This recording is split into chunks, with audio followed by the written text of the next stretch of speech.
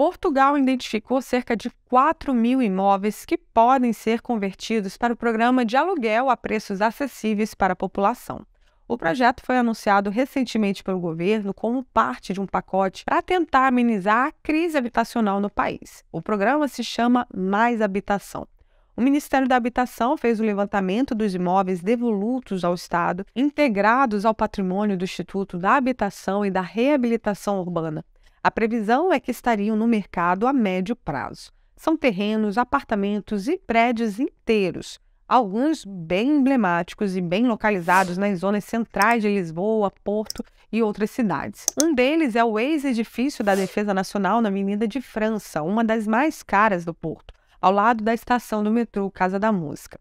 Outros exemplos famosos da lista em Lisboa são o Convento da Estrela, o ex-Hospital Militar da Estrela e o Palácio Baldaia. Manifestações pelo direito à habitação estão previstas para o dia 1 de abril em diversos locais do país. Coletivos e ativistas se juntam no próximo dia 1 para, segundo as organizações, participarem das maiores manifestações que o país já assistiu em defesa do direito à habitação. Sob o lema Casa para Viver, já estão marcadas concentrações para as 15 horas na Alameda Dom Afonso Henriques, em Lisboa, na Praça da Batalha, no Porto, e na Praça 8 de Maio, em Coimbra, juntando aí os movimentos que têm surgido em torno desse tema. Se você estiver presente por lá, for participar, lembre-se de marcar, eu posso te mostrar no nosso Instagram, combinado?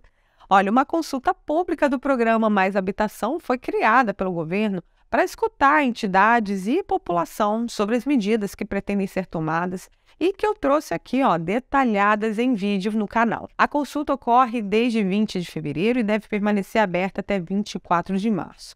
Segundo o governo, até o momento, mais de 2 mil contribuições já foram recebidas de associações representativas de vários setores, entidades institucionais e cidadãos.